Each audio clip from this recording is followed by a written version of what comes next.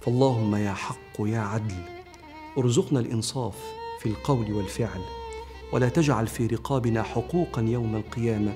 لاحبابنا او لاحد من خلقك